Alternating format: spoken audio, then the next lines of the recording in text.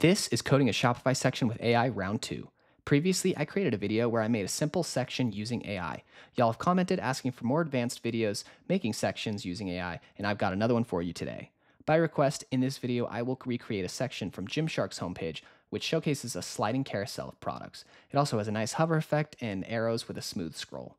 And of course, it will come with customizations in the theme editor and still looks great on mobile. To do this, we are going to use a free tool called V0. You can create a free account and follow along. It will provide us with the liquid code that we can then paste into our section file. Then we'll make some customizations and we are good to go. Now, I do want to point out that I wanted to make this video without editing code myself other than simple deletions, so it is not perfect and it doesn't add to cart via the variant clicked, but it still looks great and just navigates to the product page on click. I would have no problem putting this section on my store. If you have a Shopify feature that you would like to see me build, or if you want more AI tutorials like this, please like, subscribe, and drop me a comment. I appreciate you, and without further ado, let's get started. Now, the first thing that we want to do is grab a screenshot of what we want to recreate. So just head over to the website that you're looking at, take a screenshot, and then we can upload this to V0. Now, after we click submit, we can take a minute here and it's just going to generate some code for us. It's going to take a little while while it's thinking, but it does a pretty good job of updating us of where it's at. Now, remember, it's going to generate this code in React, so that's not what we want. This isn't going to work if you copy and paste it, but we'll make our way there. You can also test this out. I love this little preview uh, window that you can test things and make sure it looks more or less correct, obviously without the image. So everything looks pretty good to me right here, but it's time to take this to the next step. So what I'm gonna do is go to the bottom left-hand corner and I'm gonna add a follow-up prompt. Now, everything looks pretty good, but I did notice while I was testing it that it was only scrolling to the left and right when I clicked the buttons, and I would like it to use the mouse scroll as well. So what I'm gonna do is just add a prompt here and ask it politely if it will add that as well. So what I've done is I've skipped ahead from all the loading part and I'm testing it out and it looks great. I can see it scrolling sideways when I use my mouse. This is exactly what I want, so the UI looks great. Um, but it's still in that React code, so I'm going to ask it now to do this first step of converting it to HTML, CSS, and JavaScript. But I want to make sure I tell it to keep the exact same UI because it looks great.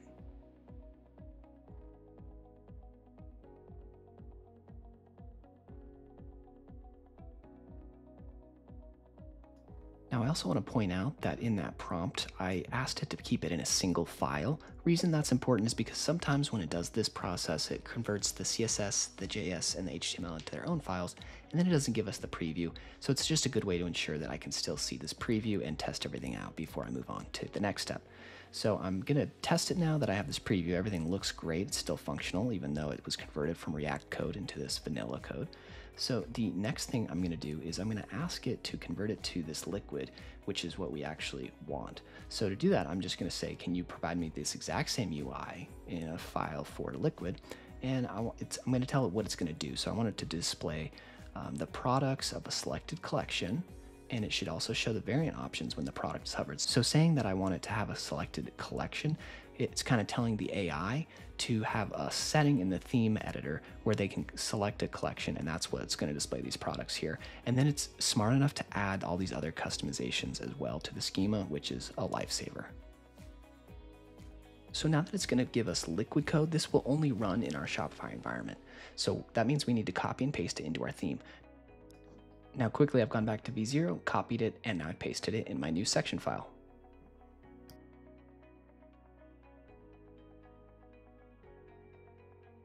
Now I'm going to go ahead and give a quick renaming so I can find it in the theme editor. And then after I save this file, I should be able to go back to the theme editor and then I can refresh and I should be able to add this. Okay, so after refreshing, I can go ahead and add it, and it looks pretty good. I can see a couple issues already, but I'm not going to worry about those too much yet. I'm going to work on first assigning a collection so I can verify the images, and then just kind of looking at what it provided for us, and there's a lot of pretty good customizations here. So I think the next step would be to save this and then to investigate those other couple issues. So based on what we just saw, looks like the icons are not loading in. I can tell because those buttons are just saying like weird stuff and uh, it just doesn't look right, obviously. So if I come back to the code, um, uh, without doing too much, you know, custom coding here, I'm just gonna see where the icons are and I can see that the code they gave us is referencing some assets to load those, but that's not what I'm going to do here. Instead, I'm just going to copy and paste these SVGs directly in so that I don't have to create any, any other files or anything like that. So what I'll do is I'll just copy them from the bottom and paste them in where they're being rendered instead.